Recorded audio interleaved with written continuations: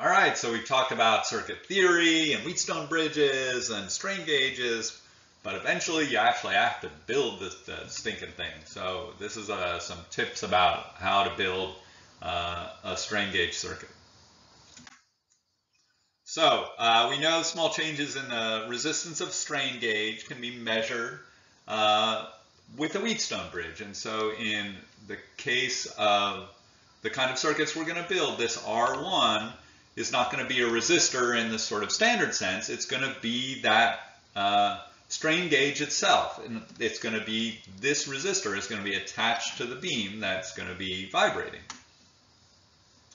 Now, um, one of the things you'll notice in the circuit we're going to use is it's going to look kind of like this down here. And I want to talk just a little bit about what this potentiometer, that pot, uh, or this potentiometer, these are essentially uh, similar circuits that do the same thing, what that's doing. Well, you can see if I change the, if you think about these um, resistors being in parallel, if I change this contact point down here and essentially make the resistance of this uh, potentiometer zero, what's going to happen? Well, it's going to short circuit R3. All of my current is going to go through here. And R3, if we think of R3 as everything over here, will essentially be zero. Okay. If I, on the other hand, move my potentiometer way over here, and let's say this is a really big potentiometer, then that's going to stop any current coming through here. And that's going to make the arm, this, this whole arm, have a resistance of whatever the nominal resistance of R3 is. Okay, so this potentiometer allows me to to change the resistance of this arm in order to balance my Wheatstone bridge as a whole. Okay, and that's what I want to do at the start of my circuit. I'm not going to be changing that resistance as we go through, but we want to start off with a balanced bridge um, when we're uh, when we're trying to use that R1 as our sensor. This is going to do a very similar thing, and so you'll see this potentiometer on our circuit diagram uh, and it basically allows us to balance the bridge uh, by changing, we can leak, essentially leak a little bit of current out through here uh, in order to make sure that this voltage matches the voltage up there. Okay, so a little complication to a Wheatstone bridge uh, that makes it a little more flexible. Uh, and then that R1 is going to be our sensitive resistor, and we can use that to figure out um, uh, if we can measure the resistance R1, then we can use our sensitivity to measure our strain. Now, one of the things uh, that we need to know is the sensitivity of our resistor, and we call that, uh, with a strain gauge, is called a gauge factor. And so you can see here, this looks like a sensitivity, the change in the resistance uh, over our strain.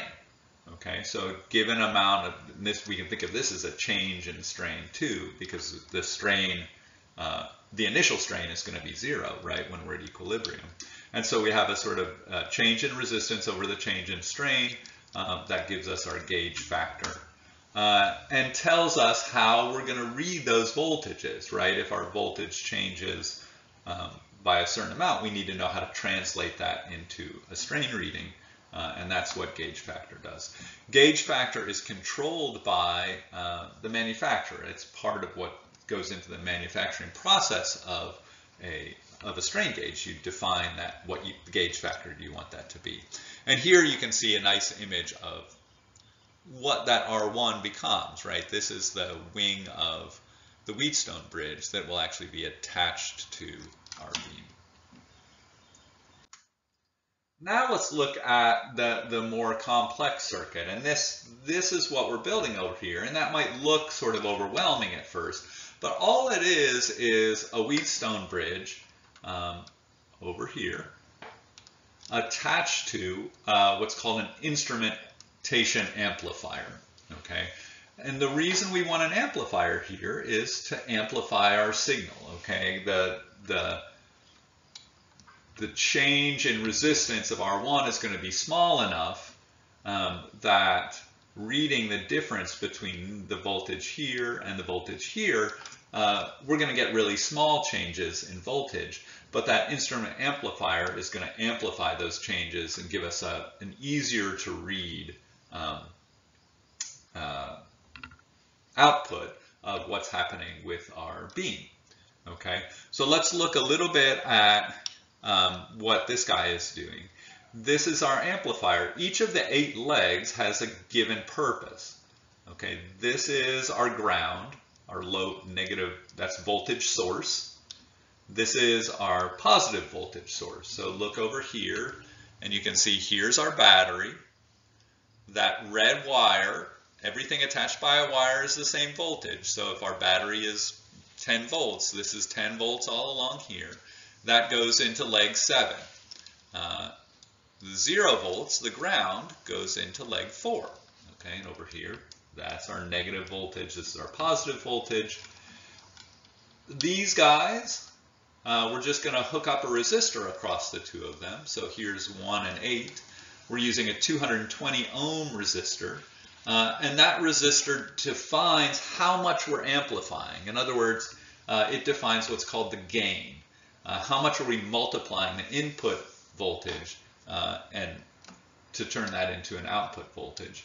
Our input is 2 and 3, and so those 2 and 3 are coming from the two different sides of our Wheatstone bridge. Uh, and you can think of that, this is a little confusing because it's a three uh, wire strain gauge, and that's used uh, to get rid of some potential errors created by the length of our wires. Uh, but the black and the white here are going to be the same voltage. We can think of those as the top of our bridge.